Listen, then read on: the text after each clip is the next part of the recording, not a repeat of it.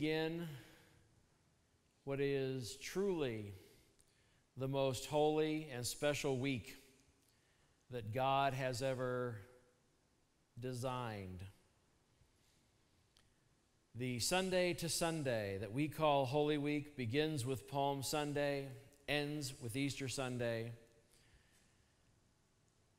And it is the last week of Jesus' life on earth a week in which he started by entering into Jerusalem. And churches all over the world today are celebrating Palm Sunday today with plays and pageantry. And many years ago, when I was a child, they would gather all the children at the back of the, at the in the lobby and give us all little palm things. And we'd all come in saying, Hosanna, waving our palms because we wanted to express the joy of Palm Sunday. We wanted to express what was going on to kick off this holiest of weeks. Others might also use this time to describe and go back into the Old Testament and look at the 120 some odd prophecies that Jesus fulfilled during this week. This week is the most prophetically fulfilling week in Jesus' life of the things that he said, of the things that he did, even of the riding in on the colt and the donkey into the city gates.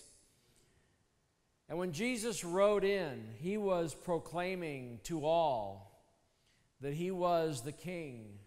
He was using symbols of the Jewish people he was using symbols of the Roman army so that anybody who was watching could say, see at least what he was trying to portray, what he was trying to put across. Whether they believed it or not was between them and God, but he was definitely making a clear statement that he was a conquering king, that he was a king that comes in peace to a city already conquered by the army, that he was a king that could not be disposed.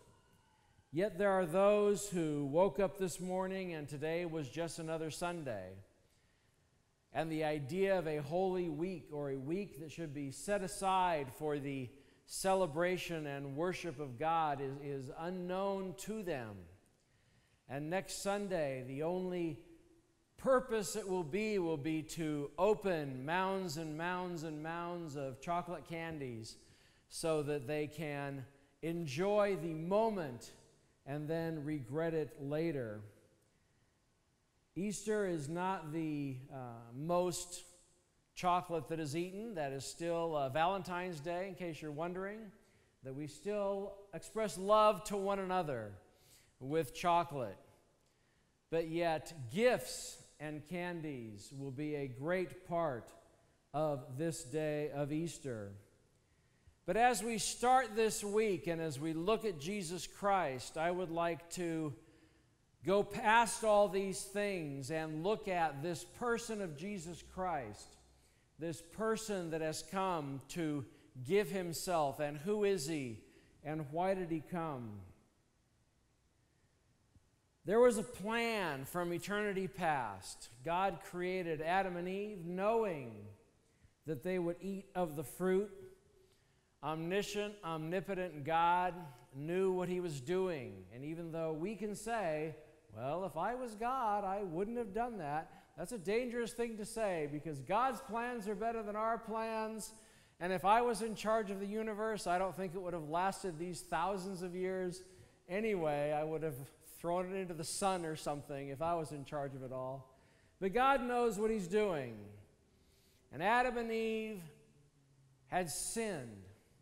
And that didn't catch God by surprise because Jesus Christ, the eternal Son, was destined, was planned to be the sacrifice for humanity from eternity past. And so when Adam and Eve sinned and they were kicked out of the Garden of Eden, there's even a prophecy given to Eve at that time that her seed would crush Satan's head, which is what happened on the cross. And so even thousands of years before Jesus Christ and thousands of years since Jesus Christ on the cross, we can see this line through Scripture of what we call God's redemptive thread, where every time the Jewish people would mess up and God would redeem them somehow, would straighten them out, would discipline them and bring them back somehow it was all pointing to, it was all foreshadowing, it was all a type of Christ. That everything that was done in the Old Testament is called in the book of Hebrews a shadow of what Jesus Christ did on the cross. And since Jesus Christ has gone to the cross 2,000 years ago, that truth has remained in granite no one has been able to make a better offer. No one has been able to change it. No one has been able to correct it. So that the hope that the disciples had on that first Easter morning, we can have today. That if there are difficulties, if there are problems, if your life is not working out, ultimately Jesus Christ is the fix of it all. If not to just get you into the kingdom of heaven and to give you a proper mindset, a proper view of the world, so that when you turn on the TV, when you get these phone calls asking how you're going to vote, all these things that are happening in this very exciting and interesting time that we are in, you see is really minuscule and insignificant compared to what you have in Jesus Christ. Jesus Christ came to earth, God incarnate. There is a joke that goes around that people talk about, and even seminary students play with it of can God create a rock too big to lift? It is a logical conundrum because we cannot conceive of such a large rock and we cannot conceive of an omnipotent God not being able to lift something. And that is dismissed as against God's nature, that God can do anything that is within his logical nature. But when you look at Jesus Christ, we never joke about this, but talk about an impossibility, talk about something that no human can ever conceive of, talk about something that if you were God, you would not have done it this way. Sending your Son, God incarnate, to become flesh, to walk this earth, and that Jesus Christ, willing to, for the first time in all eternity, to be hungry. God does not have to eat, God's stomach does not growl. And Jesus Christ, in all of eternity, has never had those stomach pains saying, Feed me. When he was a little baby, he did. And as he grew, he was weary for the first time. He was dirty for the first time. He stepped on a rock and hurt his foot for the first time. He had problems with his family. He had problems with the neighborhood for the first time in all of eternity.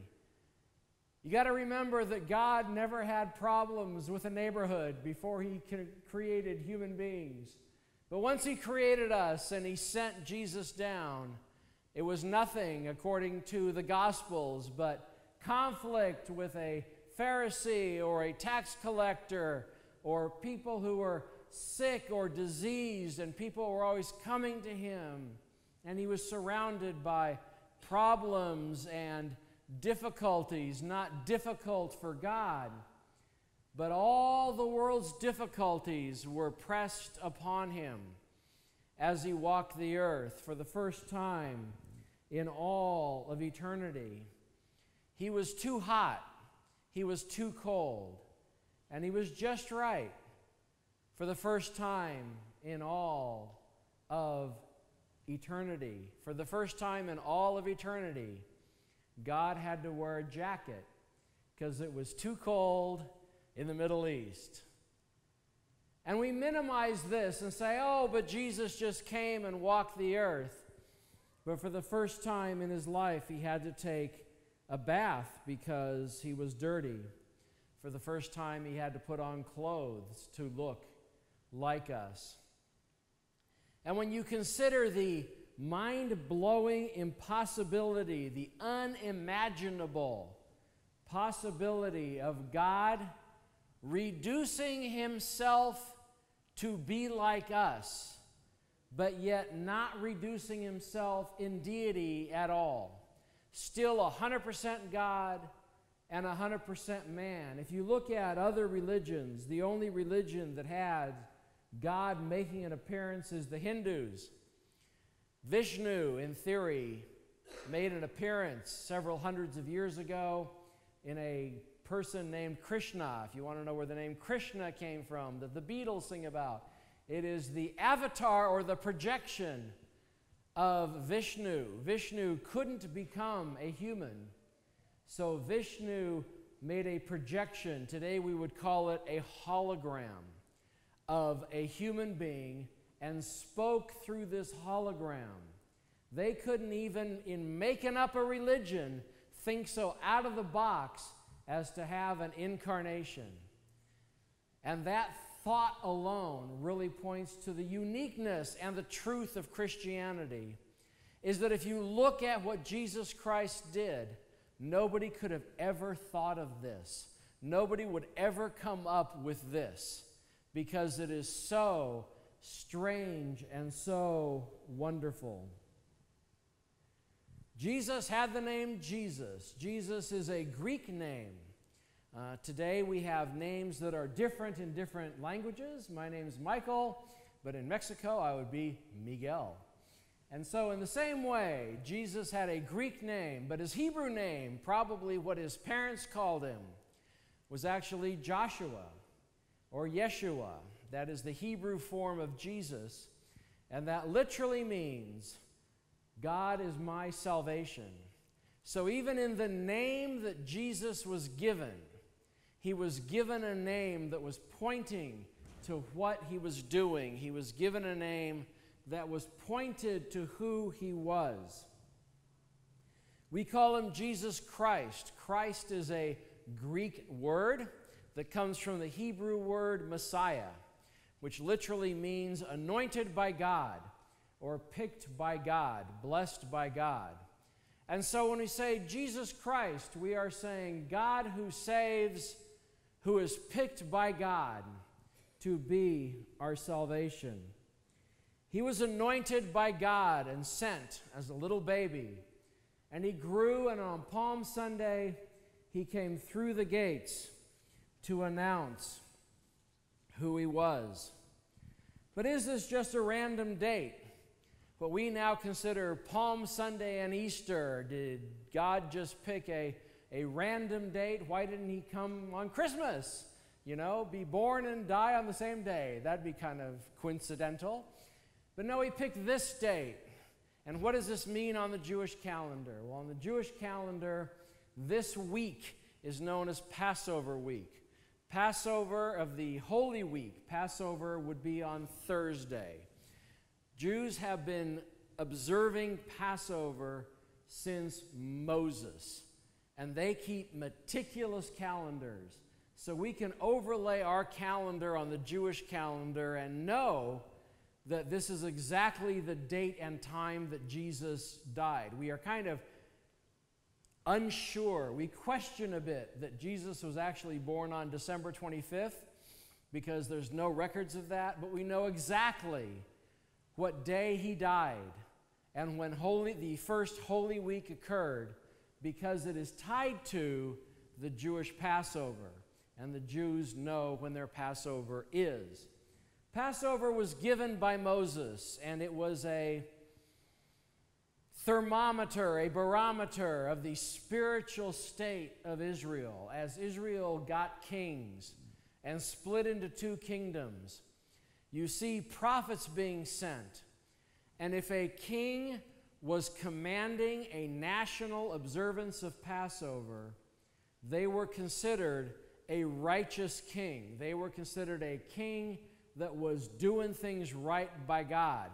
But if you were like Ahab, the worst king of them all, Passover wasn't even a second thought, didn't even think about it. And so when Elijah came, and reestablish things. One of the first things that were done after Ahab and Jezebel were killed was that they celebrated Passover as a sign of, of returning to God. Of course, the northern kingdom never did and was destroyed by the Assyrians. Now, the point of Passover, if you're doing the Lent readings, you're about the part now where uh, the angel of death comes. And if you had taken a sheep and you had taken the blood of the sheep and put it on your doorpost, the angel of death would pass over you and go after some Egyptians. You would then take that sheep and have a, a hurried meal, if you will, uh, with eating the sheep and eating some vegetables and eating some things quickly because you are about to exit. And even today, uh, coming up on whatever Passover is this year, Jews all over the world will be reenacting at their dinner table the Passover meal. They will get dressed up to leave and they will, they will eat a meal hurriedly. They will probably go buy lamb from Lucky's, but it will be a reenactment and they do it every year. And back in the time of Jesus, it took eight days for you to prepare the Passover meal because you had to get the sheep and you had to arrange places to do it. And so the Passover celebration in the Old Testament is actually talked about as an eight day celebration. So you have Sunday, Palm Sunday, to Sunday, Easter, eight days. So even when we celebrate the Easter season and the Holy Week, we celebrate it for eight days, Sunday to Sunday. And when Jesus was arrested on Thursday night, Friday morning, and he was taken, he had already celebrated the Passover meal with his disciples, and he was executed, he was sacrificed, he was murdered by the Roman people and the Jewish people, and God took him and made him the universal, eternal Passover lamb, so that when John is given a vision of future heaven, and nobody can open the scroll, and he says, Who will open the scroll? And he sees a lamb who was slaughtered. He sees Jesus Christ, that even that late date, for all eternity, Jesus Christ will be known as, Jesus Christ will be displayed as, Jesus Christ will be understood as the Lamb of God, the Passover Lamb of God, who died for the sins of the world. As Jesus moves toward Easter, he moves out of the upper room and he goes into the Garden of Gethsemane. Uh, the Garden of Gethsemane was a olive grove and had an olive press where olive oil comes out of. And Gethsemane literally means intense press. And Jesus was under intense pressure praying because he didn't like the fact that he was going to the cross. He saw what it was going to be, and he didn't want to do it. And so he prayed, Lord, remove this cup from me. And we can, we can speed over that and go, yeah, the cup is pain or the cup is something. But what is the cup full of? Uh, I returned from a pastor's conference two weeks ago, and Paul Washer, who was the mission speaker, told the story of going to a Scottish uh, parochial Calvinist school in uh, Geneva and he was going to teach, and he thought that it was going to be high school students, but he gets there and it's fifth graders. And he talks to the headmaster and he says, But I'm going to preach on propitiation. And the guy said, That's no problem. So that's a good school. So he's talking to the class of fifth graders and he asked the question, What was in the cup that Jesus did not want to drink? And a little fifth grade girl raises her hand and she stands up and stands next to her desk at attention and says, Sir, the cup was full of the wrath of God. And that's right. The cup is full of the wrath of God. Jesus Christ did, in fact, take on all your sin, past, present, and future, and it was put on him. And for Him to forgive your sins, it has to be like the sin was done to Him from you. And so when you are verbally abusive to somebody, what Jesus experienced on the cross was you being verbally abusive to Him. All these sins, uh, the Census Bureau says that there's been about 79 billion people alive in our world. There's about 7.23 billion alive now. Take that by how many sins do you commit a day? Trillions of sins since Adam and Eve to the last person were put on Jesus individually. He knew who they were, who committed them, what the sins were, and he felt them. And then when all these sins were placed on Jesus, the Bible says, He who know, knew no sin became sin. Jesus was so full of our sin, He in essence became our sin. God opened the floodgates of heaven and blasted him with white hot wrath that had never been seen. You think the flood was wrath? You think Sodom and Gomorrah was wrath? Those were nothing compared to what was poured onto Jesus Christ because the wrath had to punish and take care of every last sin that had ever been committed on earth and ever will be committed. And when that was all done, Jesus Christ, probably in more horrific pain and misery than you will ever experience, gave his spirit to God and died. And when he died, that blood that he shed was applied to your sin. And this offer was made to the whole world. And it is still made today. Nobody has beat this offer, nobody has changed this offer. That if you want your sins taken care of, you accept Jesus Christ. And when you accept Jesus Christ, the events on the cross are applied to your life. And there will be a time when Jesus Christ is done with us, when he's done with this world that is rejecting him and slapping him and misusing his name, and he's going to sit on a throne.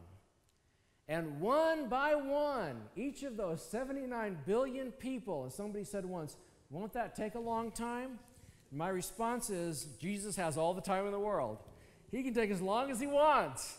One by one, he will have a conversation with everybody who comes. And books will be opened of the works that we do. This is in Revelation 19 and 20. And then a second book will be opened. That's called the Lamb's Book of Life. And if you have during this life turned your life over to Jesus Christ, applied what he has done to you, then your name will be read by an angel out of that book and you get to go into heaven. You get to go into the wedding feast. You get to go and be with Christ for all eternity. Yet, if it is not there, if you have spent your life rejecting Christ, then all that pain and wrath and misery that he experienced gets put on your sin. You get to pay for your own sin. And what that means, because we can never pay for our own sin, it means eternity in the lake of fire. Several theologians, all the way back to Spurgeon, have interpreted from Scripture that because it is Christ that you are rejecting, because it is His work that is being rejected, it will be Christ who will design the punishment for your sin in the lake of fire. And Christ, for all eternity, will make sure that you pay for your sins because you rejected what he did on the cross. But if you accept what's on the cross, he freely, because he loves you more than you can ever imagine, freely welcomes you into heaven and you will spend eternity with him. And that is what this Holy Week means. And because of this, We are going to get together on Thursday night at 6:30. We're going to have a very simple soup supper. Bring your favorite soup if you have one. And we will celebrate communion. And we will celebrate what Christ did. We will look at what Christ did in the upper room with his disciples before he went to the cross.